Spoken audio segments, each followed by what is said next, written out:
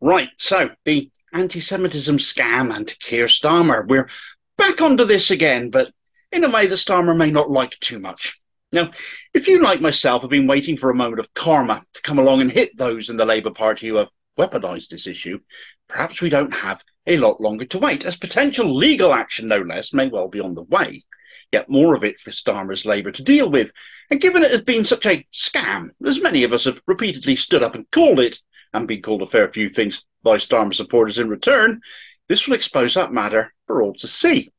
All forms of racism are horrific. They're intolerable. All of us surely agree on that. They should be all equally condemned. Yet in the Labour Party, that is not the case. Anti Semitism, for example, has a bespoke complaints page on Labour's main website. No other form of racism does. That's a problem to me. What do you think? When it comes to the issue of anti Semitism, I, like many others, know that it was weaponised as a stick to beat Jeremy Corbyn with. They tried so many other things. This was what finally stuck. An absolute falsehood as it was. But the thing with lies, especially when they're so prominently in the public eye, is that people keep questioning. And the more they get questioned, the more the lie grows. A lie can travel the world before the truth has got its boots on, as they say, or something like that. But a lie has no basis beyond shallow personal gain for whoever is spreading it. And when people dig into it, the lie has to grow. New lies have to be told to keep it perpetuating. And in this case, more people have to be punished. This legal action, then, potential action, has come from Jewish Voice for Labour, a Labour affiliated group set up in 2017 to support Jeremy Corbyn, who is a great friend to Jewish communities. A substantial community of Jewish people live in his constituency of North Islington, after all, and are very supportive of him. To be a member of the JVL, you have to be both Jewish and a Labour member. Other Labour members of a non Jewish persuasion could join as solidarity members, supportive of the group's aims and values, which were to support the aims and ideals of the then left wing Labour leader, as well as fight for the rights and say so of left wing Jewish members of the Labour Party. So when the Labour right, in all their various forms, moved against Corbyn on the basis of accusing him of allowing anti Semitism to pervade in the party to propagate that lie, other members had to be sacrificed too. Investigations finding people guilty of being anti Semitic and not in keeping with Labour values. A clumsily worded tweet, perhaps, liking a post by a MP from another party. Whatever it took to show that Corbyn had let too many anti Semites in for which you can read rotten lefties, frankly, who he enthused and inspired, into the party ranks and diluting its red Tory chosen direction of political travel by the narrow minded, get rich quick careerist types on the Labour right. Entire affiliate groups were sent packing as well, of course, retrospectively, even the crime of time travel being created essentially as members were purged for attending meetings with groups before such groups were ever barred.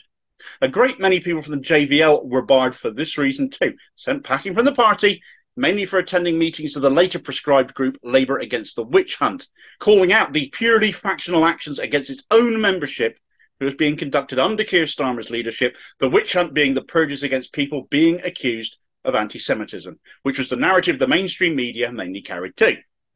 The net result of this lie, of course, is that under the auspices of accusations of anti Semitism, Jewish members of the Labour Party were accused of being anti Semitic themselves.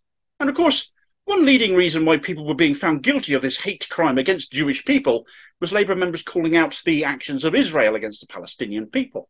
This worked because for too many people, being Jewish and supporting the Israeli state is seen as being one and the same.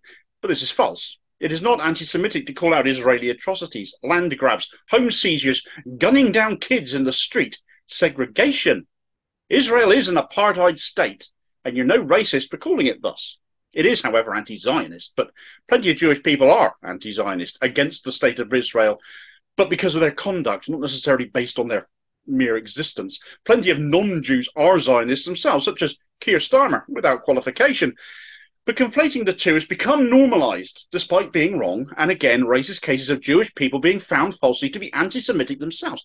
Look at it this way under the Labour Party, you have Jewish people, for reasons outlined already and others, being accused of Jew hate themselves, of hating themselves in effect. Can you appreciate how that looks? How ridiculous that sounds? How stupid that is? Self hating Jews. Well, you've heard plenty in the media say that, but that makes it no less stupid, does it? Look at it another way. When was the last time you had a black person on the media accused of anti black racism? When was the last time you saw a Muslim person decried for being Islamophobic? It hasn't happened because where the Jewish faith and the Labour Party's conduct are concerned, it is all a lie. Well, the lie is being called out, and the JVL are the ones doing it. A letter of complaint has been sent to General Secretary of the Labour Party, David Evans, and copied to the European Human Rights Commission, the EHRC, from law firm Bindmans, who are acting on behalf of Jewish Voice for Labour. This is a nine page document setting out all sorts of compelling evidence of discrimination against Jews who have called out Israeli actions, defended Palestine, called out the deliberate confusion of the terms Zionism and anti Semitism, and how their members, the membership of the JVL, are being disproportionately targeted by the Labour Party. If proven in a court of law, if things get that far, that would be quite damning, wouldn't it? And the JVL are claiming to have all the receipts. According to their analysis, a Jewish member of the Labour Party is up to six times more likely to face investigation by the regime than a non Jewish member. Upon being investigated, they are nine and a half times more likely to be expelled for anti Semitism than non Jewish members. Think about that for a second.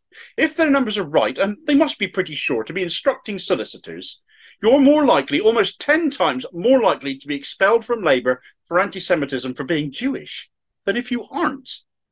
With regards to the JVL specifically, full members of the JVL are an astonishing 53 times more likely to be expelled. And if you're a JVL officer, it's a crazy 444 times more likely. They're left wing. Tell me it isn't factional with stats like that, and all to perpetuate a lie that has turned into a Pandora's box that Labour under Jeremy Corbyn became more anti Semitic, a Pandora's box that Starmer's Labour can't put the lid back on. And so the lie has to keep growing. Perhaps a legal ruling is the only way this can truly be brought to a meaningful conclusion then. Perhaps exposing the lie, as all lies do, the liars end up coming undone. We've seen what happened to Boris Johnson after all.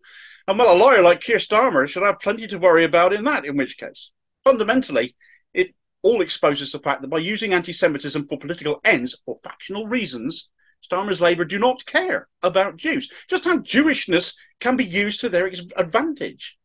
All they seem to care about is anti Semitism and how that might be useful to them, rather than something to be truly flushed out as the societal evil that it is. Conducting themselves as they are, they are shutting down conversations about the plight of Palestine, as well as excusing the apartheid being conducted by the State of Israel. And when Jewish people do speak out about such things, that does confuse those listening as to why a Jewish person would do that, when previously all they're hearing is the Labour Party and the mainstream media narratives on this issue. That, I believe, is one of the biggest factors determining the heightened levels of suspension and expulsion seen amongst JVL members who are calling it out and frankly embarrassing the Labour Party, who are wrestling with this Pandora's box that is getting more and more out of their control. A legal case might just finally derail it, and it needs to be derailed if the fight against anti Semitism is ever actually going to get back to being a fight against the real thing. I wonder how David Evans will react to it. The EHRC. Has Starmer got reason to be worried about this, do you reckon? The crowdfunder for this has passed £130,000 already. They mean business here. Is it inevitable this will end up in court, do you reckon? What will that mean for Starmer and Co? Do let me know in the comments below. Have your say on this. Be part of the conversation. Meanwhile, there's a video recommendation where Keir Starmer brought a motion some months back, you might remember it, in order to block Jeremy Corbyn standing as a candidate for Labour going forwards. But given all the narratives and all the conversations and everything surrounding Jeremy Corbyn and all the accusations aimed at him, you might be surprised to know anti Semitism wasn't part of that application, that motion whatsoever. Surely it's not all a lie. To bring it up would be libelous, Keith. Well, of course it would have been. Bolsters the case by the JVL all the more, I think. Best of luck to them on this. I'll be keeping an eye on it and hopefully I'll catch you on the next vid. Cheers, folks.